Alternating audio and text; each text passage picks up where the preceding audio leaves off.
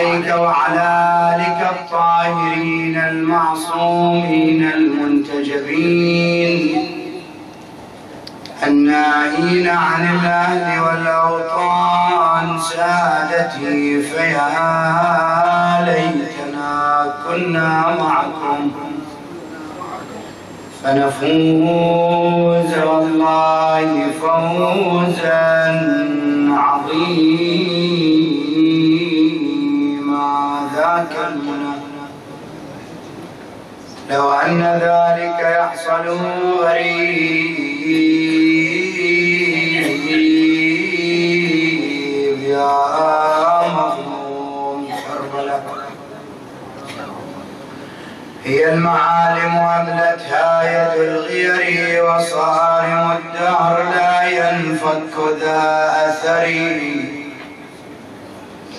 يا سعد دع عنك دعوى الحب ناحية وخلني وسؤال الأرسم الدثري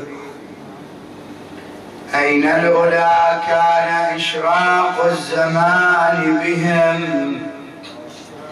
إشراق ناصية الآكام بالزهر جار الزمان. والزمان ما يجوز. أهل اثنين يقولون ذولين الشعراء يلقون اللوم على من لا يعقل. حتى ياخذ راحته في اللوم. جار الزمان عليهم غير مكترث وأي حر عليه الدهر لم يجري وكم تلاعب بالأمجاد حادثه كما تلاعبت الصبيان. بالهكر يا حبذا فلك دارت دوائره على الكرام فلم تبقي ولم تذري ولم تذري ساروا وين رايحين؟ كربلاء ولا أبو علي زوارك من زمان راحوا جدوا للمسير هناك ساروا فلولا قضاء الله يمسكهم. بني هاشم ذيلين شجعان. ساروا فلولا قضاء الله يمسكهم. لم يتركوا لبني سفيان من اثري هم الوغى ولكنهم الوغى ولكن الوغى هجمون هم الأسود ولكن الوغى هجم ولا مخاليب غير البيض. والسمر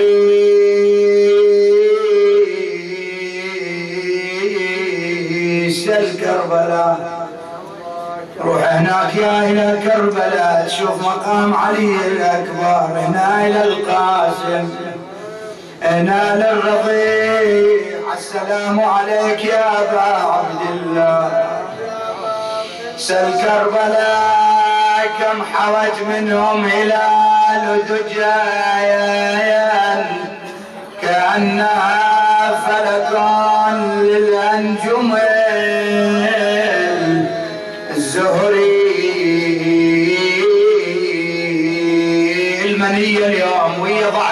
للحسين ترفرف على رؤوس الشبان وعلى محمل الحوراء زينب ودارت على العباس وحسين المنية.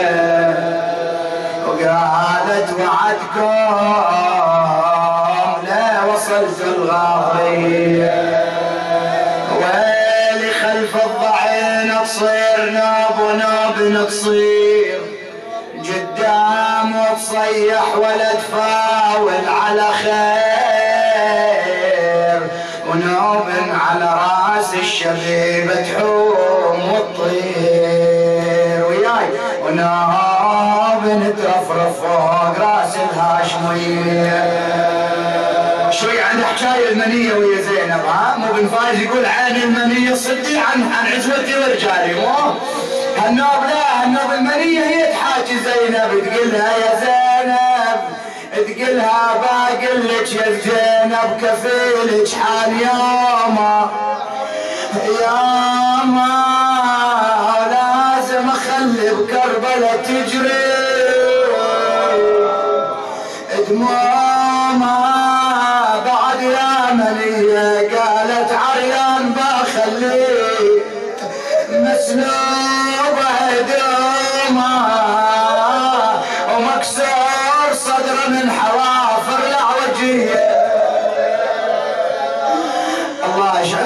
هذا الحسين عرفناه يا منية بعد عندك؟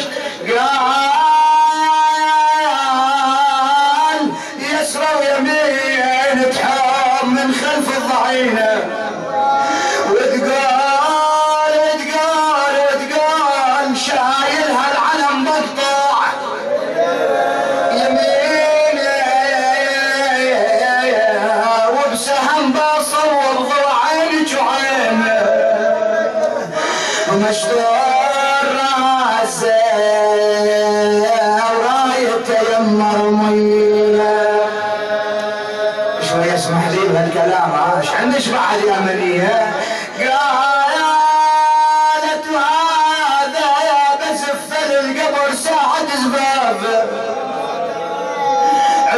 هذا الشباب قالت بزف القبر ساعة زفافة. وهذا هذا بخلي حسين يصرخ ليه شافه اعوذ عليك تستاهل البيت. ها الله يرحم الشاعر. شلون تصور المعنى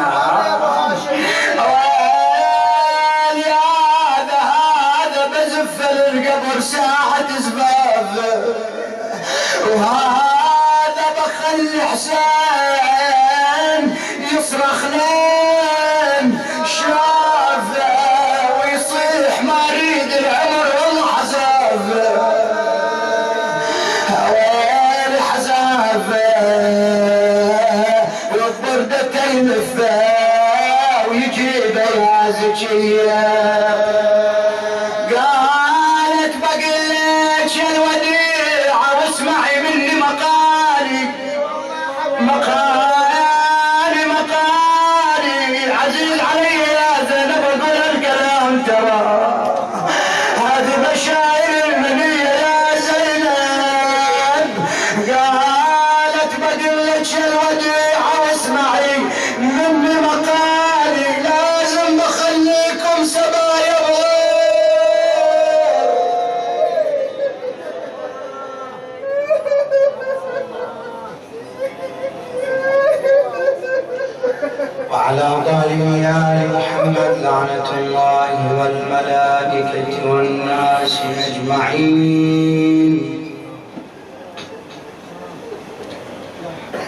أعوذ بالله السميع العليم. من الشيطان الغوي الرجيم. بسم الله الرحمن الرحيم. وقل رب أنزلني منزلا مباركا وأنت خير المنزلين. آمنا بالله. صدق الله العلي العظيم. لتعجيل فرج آل محمد وشفاء المرضى وقضاء الحوائج صلوا على محمد وآل محمد.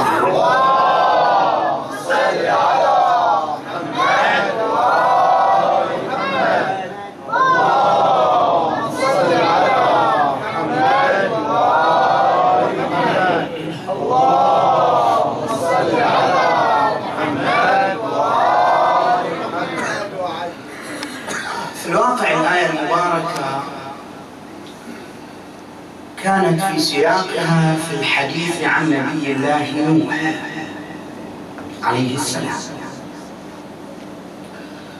ومعلوم أن نوح هو من أعظم الأنبياء مكث أو أكثر الأنبياء مكث في قومه يدعوهم إلى الله.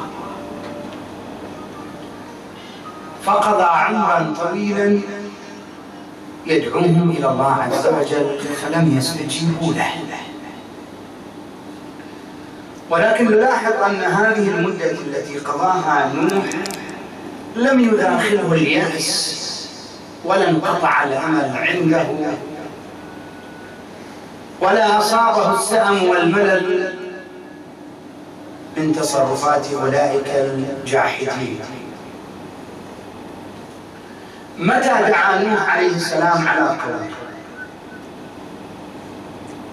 دعا عليهم لما استنفذ الوسائل كلها المتاحة.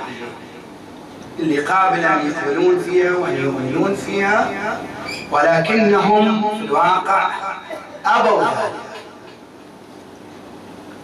لما أبوا ذلك سأل من الله سبحانه وتعالى قال ربي إني دعوت قومي ليلا.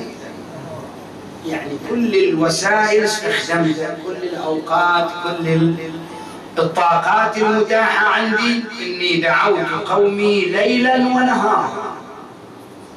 دع يعني عمل دؤوب ومتواصل. إلا أنهم أبوا ذلك فلم يزدهم دعائي إلا فرارا. شو سوي فيهم لأنهم قوم نوح. نوح كان يأتي إليهم وهم كانوا كارهين لكلام نوح لدعوة نوح. فبعد فترة من الزمان نوح يعني أراد أن يستخدم أو عفوا رايح يعني يستحدث طرائق أخرى أو وسائل أخرى لإقناع هؤلاء.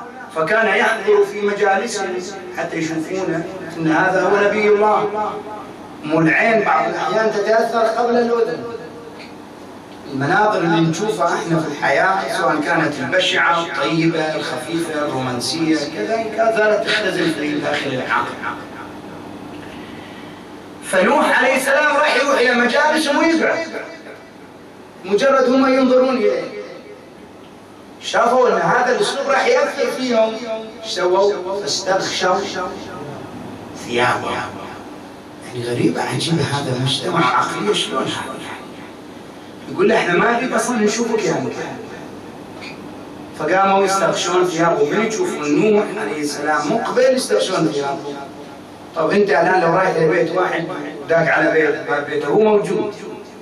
وانت تغاول عنه إيش رايح يصير في يعني؟ تتأثر نفس الناس. بعد أصر نوح عليه السلام على هذا الأسلوب.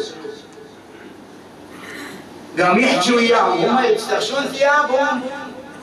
بس اذايهم تسمع بعد. مو فقام يعظهم نوح سلام الله عليه ويزجرهم. فوضعوا أصابعهم في آذان قال لا نريد نشوف ولا نريد نسمع يعني لاحظوا هذا المعنى في الآيات المباركة. فاستغشوا ثيابهم ووضعوا أي أصابعهم في آذانهم. يعني بكل الوسائل المتاحة للنبي نوح عليه السلام كانت مرفوضة من قبل هؤلاء هنالك دعا منه الله سبحانه وتعالى. قال هذا دعائي لم يزدهم إلا فرارا حاولت بقدر الإمكان. يعني أنا ما دخلني الياس. حتى الآيات المباركه يعني تساق أو تسيق قضية نوح عليه السلام وتحكي عن نوح لا تشير إلى عملية يأس أو خنوط إلى نوح إنما مجرد قال إني دعوتهم ليلا ونهارا فلم يزدهم دعائي. فرارا الله سبحانه وتعالى أخبر نوح قال الآن والآن استنفذ كل الطاقات الموجودة لأن من يهدي الله فهو المهتدي واللي ما يهدي الله تعبان. خلينا بنباشر عملية أخرى وياهم غير الوعظ والإرشاد والتوجيه. الله عز وجل أخبر نوح قال له أنت اصنع السفينة بأعيننا ووحينا. أمرين بإرادة السماء وبوحي السماء هم ذولين كل ما يجون إلى نوح يقول شنو هذا؟ فقد عقله شنو إحنا بحر ما عندنا هي السفينة تمشي في وين؟ والسفينة تمشي على اليابس. إن السفينة لا تمشي على اليابس. مثل السفينة تمشي على اليابس. لازم على الماء. فكلما مر ملأ من قومه سخر قال إن تسخروا منا فإنا نسخر منكم. طب نوح هذا بعد تحمل شوية قال تنزل عليه بشكل يعني كبير. الحين شنو؟ عقل ما عنده. سفينة ما تمشي هالشكل على اليابسة.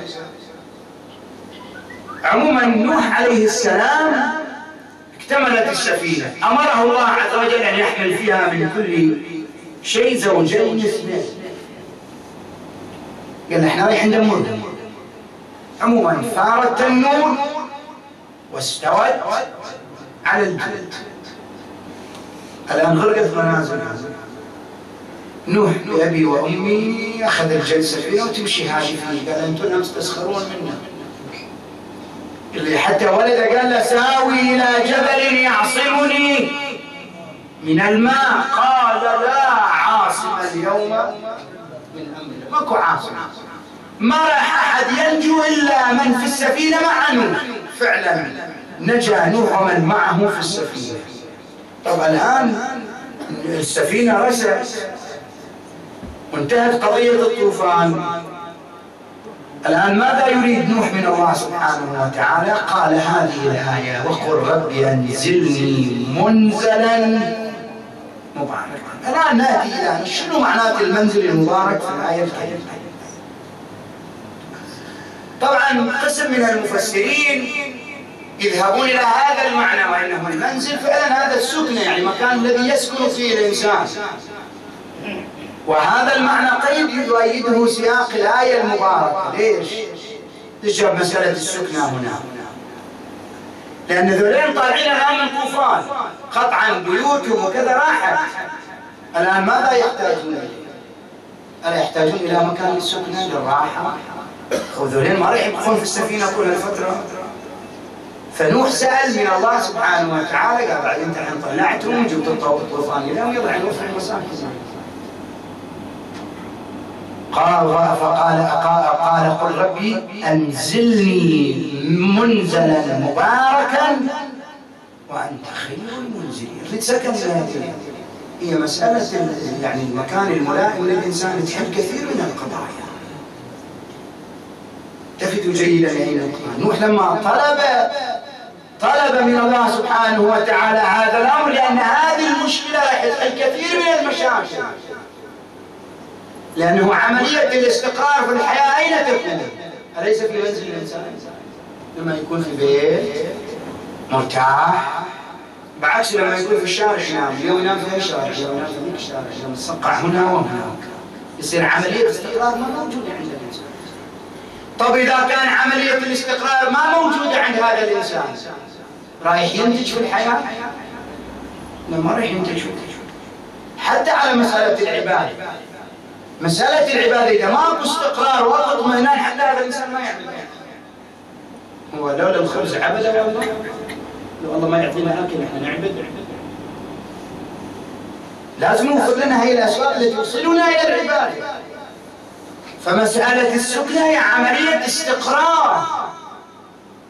وهذا الاستقرار مترتب عليه مسألة الإنتاج مسألة العمل مسألة العين حتى العلم. العلم إذا لم يكن أجواء مستقرة عند الإنسان يحصل شيء. ولذلك لاحظ الآن معظم مشاكلنا إحنا في الدول العربية شيء خصوصا في بلدنا أنتم تدرون إنه ثلث من من حالات الطلاق ومشاكل السكن. اسبابها ثلث من الطلاق الحين تقريبا وصلت الإحصائية إلى ما يقارب 72 إلى 74% حالات طلاق يعني إذا العقود مثلا يكون 100 عقد شيل منها 75 عفوا 74 كم بقي منها؟ 26 تفضلوا إخواني رحم الله من ذكر القائمه فقام. تعال سحواجي تفضلوا.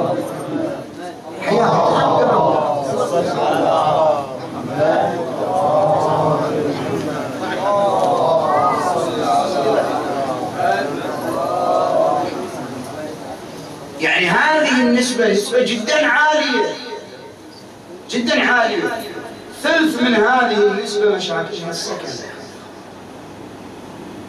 لأن هذه المرأة ما تأخذ راحتها داخل مكان ضيق أو مكان في عائلة كبيرة.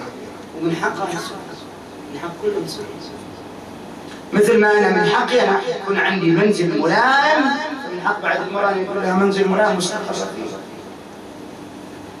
الآن مثلا عملية التراجع على مستوى الدراسة. وعندنا نسبة الآن إحصائية عملية تراجع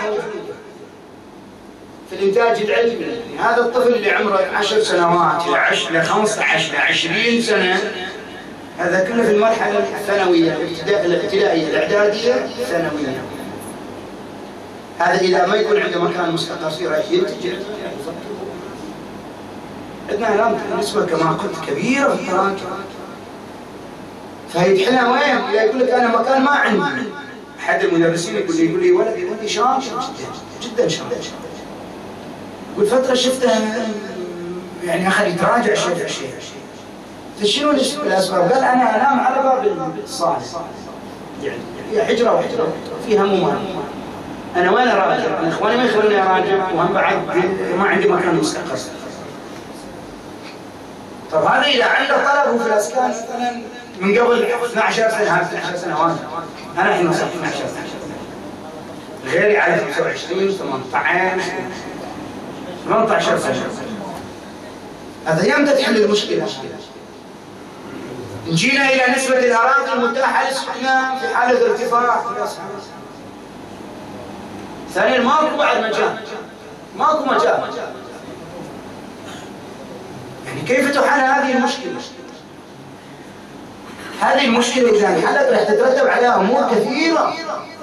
الآن مثلا عندنا العقد النفسية. العقد النفسية سبب من أسبابها والسكن عدم الاستقرار دائما في تفكير هذا الإنسان لما أن يبتلى بهذه العقد النفسية. روح يشوف المصحات اللي موجودة العيادات المفتوحة الآن النفسية في البحرين. أكثر من عيادات الإسلام. عيادات المصحة الآن النفسية. أكثر لما يجوا مثلا آخر مرة كان مؤتمر في البحرين عن الحالات النفسية.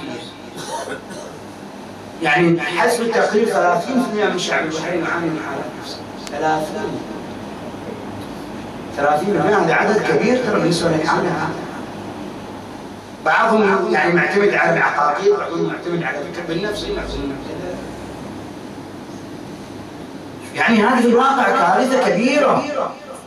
نوح عليه السلام التفت إلى هذه القضية. إذا أنت يا ربي ترى إحنا طلعنا من من من بيوتنا وكذا وصار الطوفان لا نحتاج إلى مكان الاستقرار.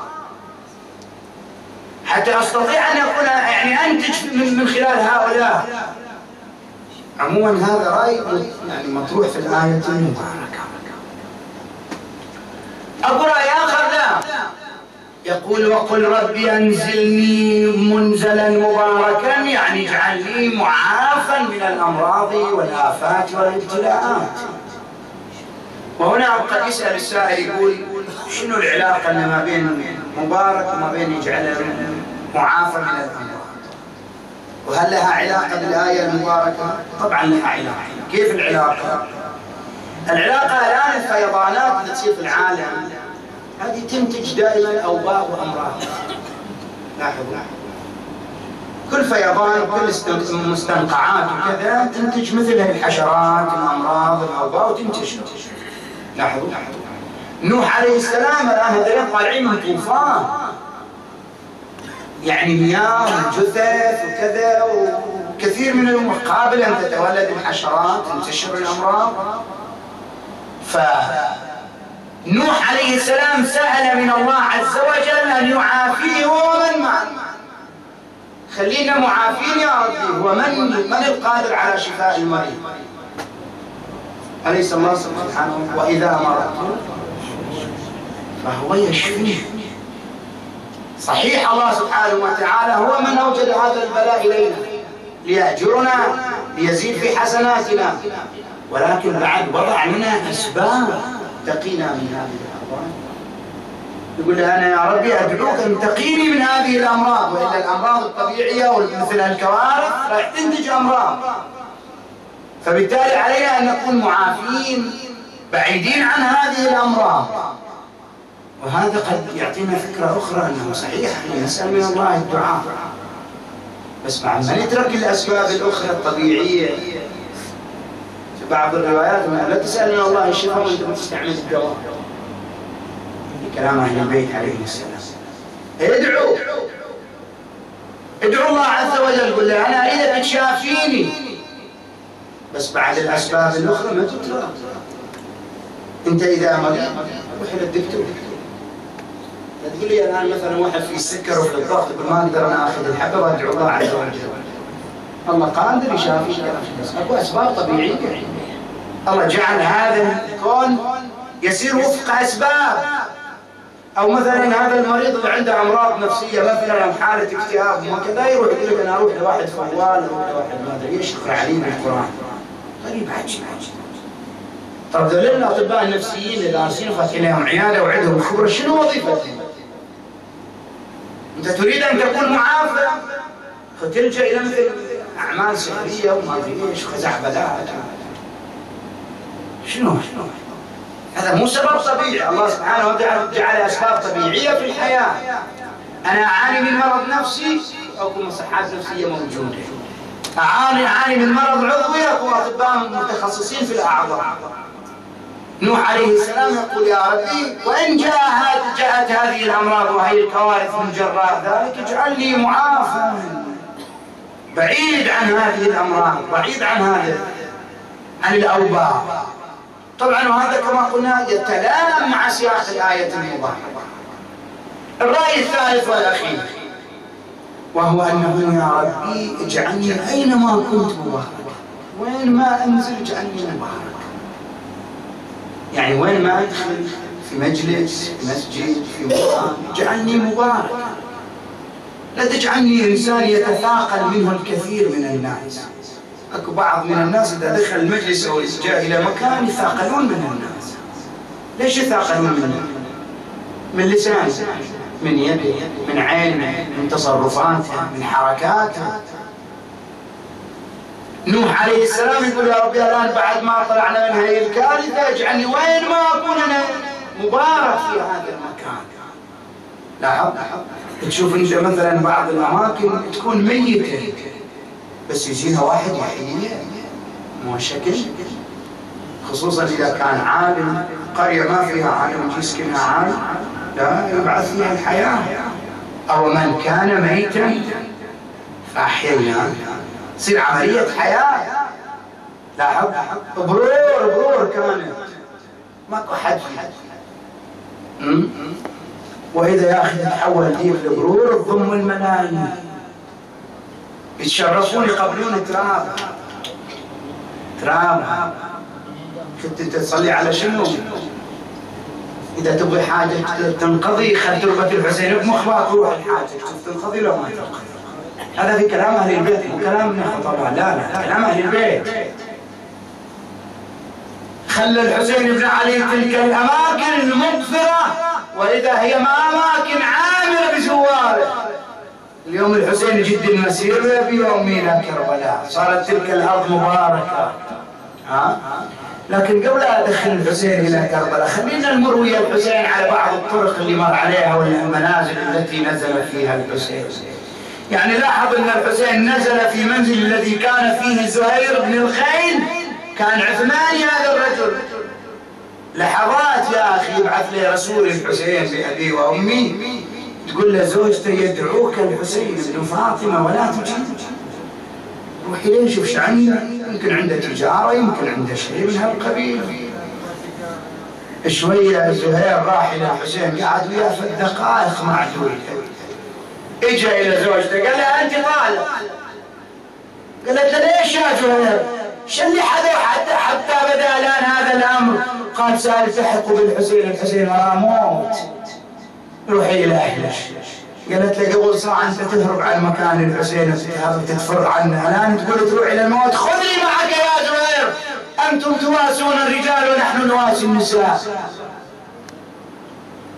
وبعدها الحسين انتقل. مر عليكم البارحة الحسين مر على زبالة مو زبالة هي المنطقة اللي جاء وصل فيها خبر مسلم بن عقيل بأبي اللي عقدوا فيها الماتم على مسلم بن عقيل. أنا دائما أحب أمشي على السيرة هذه إلى أن أوصل الحسين إلى كربلاء. إجا الراكبين ذولين دخلوا الخيمة على الحسين بن علي عليه السلام. الحسين قاعد يحدثهم بوقائع أمير المؤمنين عليه السلام. سلمها على الحسين قال له أبا عبد الله عندنا خبر أحببت سرا أو جارا. وكيفك أنت أبو علي؟ التفت الحسين قال ما بيني وبين هؤلاء القوم من سر. ماذا وراءكما قال أبا عبد الله ما خرجنا من الكوفة إلا وجسد مسلم بن عقيل وأن بن عروة يجران في السوق. فبكى الحسين بأبي وأمي بكت بني هاشم تحبوا جنابك زينب خيمته وين صايرة؟ آه إلى جنب الحسين سمعت بكاء واسترجاع. الحسين التفت إلى بني عقيل قال حسبكم من القتل مسلم. ارجعوا عني خلاص روحوا. قالوا لا والله أبا عبد الله لا يأخذ بثار مسلم إلا نحن. شكرهم الحسين. التفت الحسين إلى أبو فاضل. أبو فاضل اقعدوا يا الجماعة شوي اسليهم على مصيبة مسلم. أنا عندي مهمة رايح أقوم بها الآن. إيش عندك أبو علي؟ إنت طلع من الخيمة وقف على باب خيمه النساء صح زينب؟ بلا يا أبا عبد الله إيش فيك أبو علي؟ دموعك تجري على خدودك. أكو شي صاير؟ ابنه مسلم حميده وين هي قالت زينب وضعت يدها على قلبه أصيب مسلم بسوء. اختلط الحسين وجلس على باب الخيمة. ثم دعت حميده وأقبلت حميده جلست في حجر الحسين.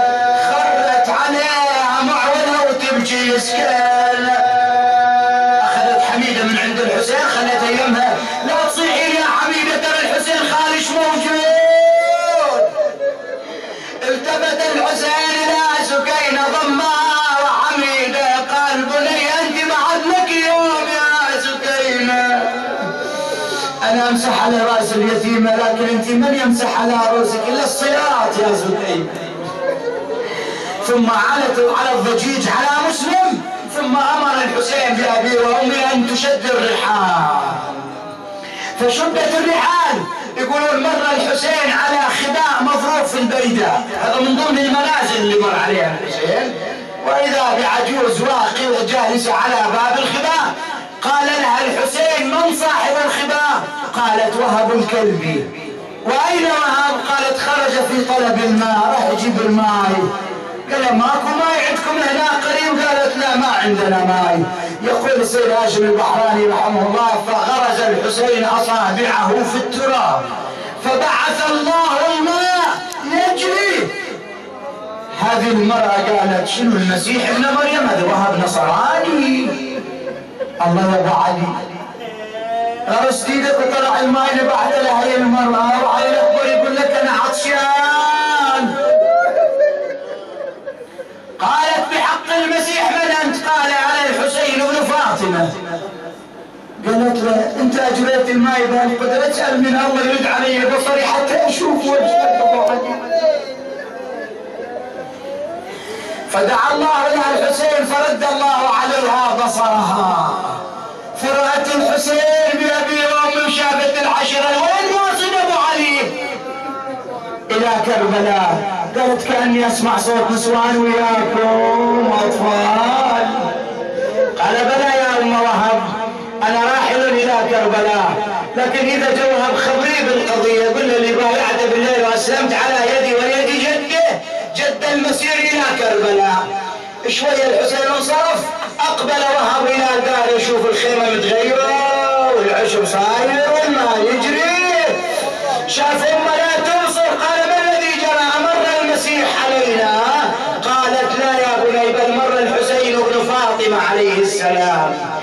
قال التفت إلى أمه قال يلا قوضي هالخبار يلا خلينا نمشي. وين؟ قال إلى كربلاء الله أكبر. رايحين إلى كربلاء. انصرف الحسين فما كان من الطريق الا ان التقى الحسين بالحر الرياحي. الحسين بأبي وأمي لما نزل الحر. قال الحسين بأبي وأمي اسقوا القوم ورشفوا الخيل ترشيفا. حتى حملون أبو علي حتى على الحيوانات. سقاهم الماء ورشفوا الخيل ثم حان وقت الصلاة. قال الحر أتصلي بأصحابك وأصلي بأصحابي يا ابن رسول الله؟ أو يا حر أتصلي بأصحابك وأصلي أنا بأصحابي؟ قال لا يا ابن فاطمة بل نصلي بصلاتك يا ابن رسول الله. صلى انتفل الحسين من الصلاة فقال اعلموا أيها القوم إنني لم آتيكم حتى جاءتني كتبكم. فأمر عقب بن سمعان أن يأتي بالكتب قال الحر أنا لست ممن كتب إليك أبا عبد الله. ولكن أنا مأمور أن لا أدخلك الكوفة وأن لا أرجعك المدينة. ماكو بعد مجال أبو علي منا منا؟ أنا عندي الآن جيش باكمله ما جاهز إلى القتال أبا عبد الله. عموما الحسين بأبي وأمي أمر أن تشد الرحال ركبت النسوان في المحامل. الحسين أراد أن يتقدم الحر الحسين يقول لا أتبعك. هنا علت الضجة فتداكت المحامل بعضها ببعض. فتصارخن بنات علي وفاطمة وضيعتها خل قلبك يمي شوية. شوية واذا الحسين يقول ثكلتك أمك يا حور. هذا صوت زينب زينب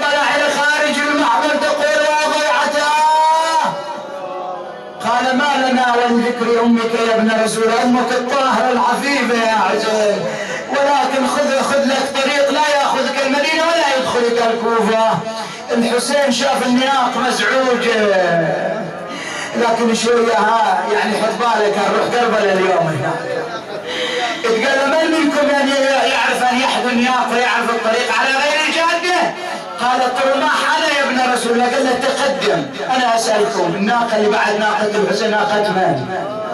زينب زينب. زمامها بيد من؟ بيد أبو فاضل. أقبل الطرماح أبو فاضل أنطيني الزمام خلي أقود الناقه قال لا والله يا طرماح حتى تقطع هذه وهذه. لكن خذ من ثوبي يا طرماح وحدي. فأخذ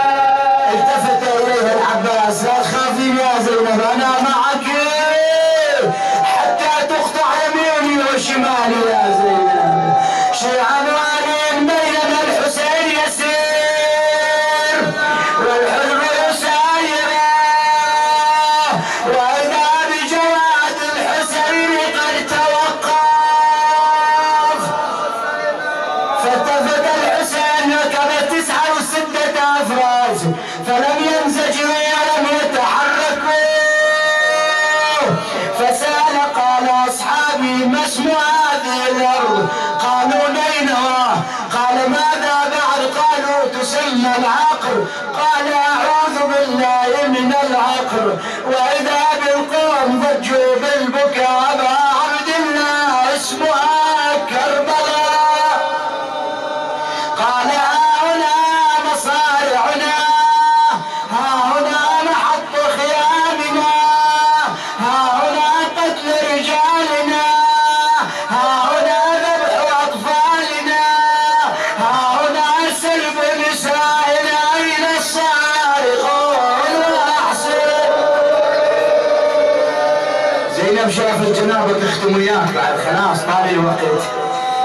شافت الضعينة واقفة.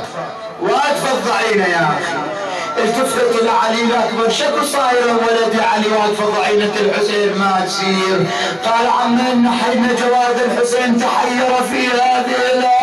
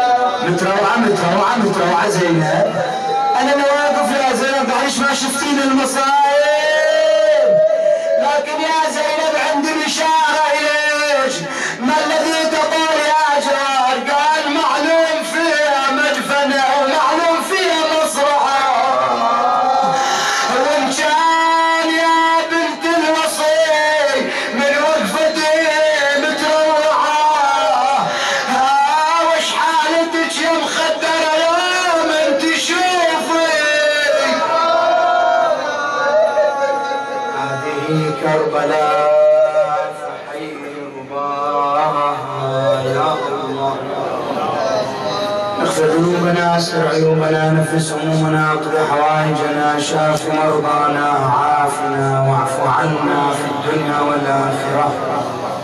احفظ المؤسسين والحاضرين فردا فردا في اهليهم ومن يلوذ بهم. إخواني من سألون الدعاء وأخواتنا المؤمنات اللهم اقض حوائجهم للدنيا والآخرة. فك أسرانا رد غربائنا سالمين غانمين لا فاقدين ولا مفقودين. جماعتي الحاضرين فردا فردا.